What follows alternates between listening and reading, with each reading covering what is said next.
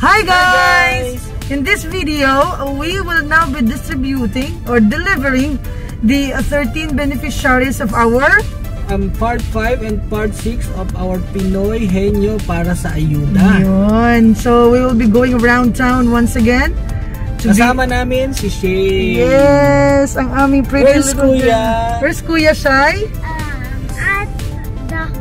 At home. Okay. Naghintay, nag-iwan si Setben. Alright. So, So watch our video We'll- yung mga beneficiary namin. At thank you sa aming sponsor at sa mga winners namin. ayan. Ito yung list guys. Sobrang dami nila. Sorry. Ito yung list guys. Ayan. Sobrang dami. And I hope you are all going to see the pictures. This time pictures na lang guys. Sobrang dami. Kaya pictures na lang. We will be uh, taking photos of all of our beneficiaries. And then daddy. We, but we will be uh, putting some captions on it.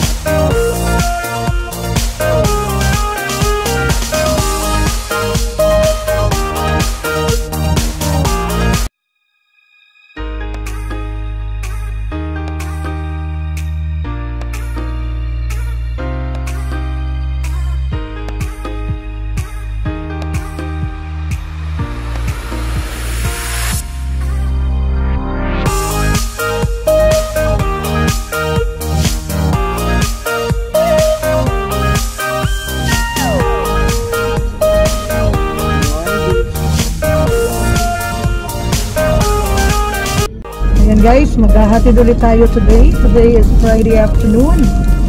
At medyo eh, nakatikim tayo ng ulan today. Thank you God. Kaya, Kumulan ang ating foging driver. We are already on the road.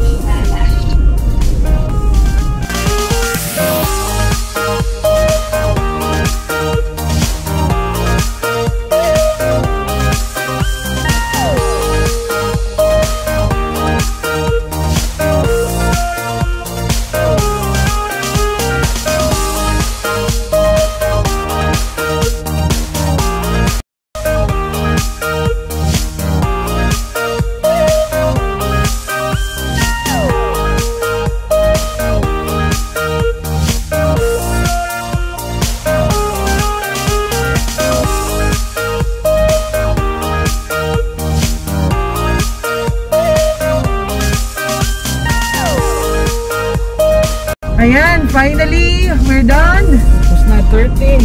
13 po lahat guys. Okay, 13 sila and we, we hope that in our little ways, uh, napasaya at nabigyan natin sila ng pag-asa. Of course, uh, once again, uh, thank you sa ating sponsors. Thank you, God. Thank you so much, God, for the out, outflow, outflowing blessings po sa lahat. And yes, we'll see you in our next live streaming. And bakit kayo nagtaka, baka nagtataka kayo why we always have mask with us? Because it is really a regulation of the government that everywhere we go, there should be a mask. uh, mask. Otherwise, you will pay a penalty of 3,000 dirhams. Kaya ganun yun guys. Anyway, that's it for uh, this um, vlog. We are we are done uh, with our 13 Ayudas.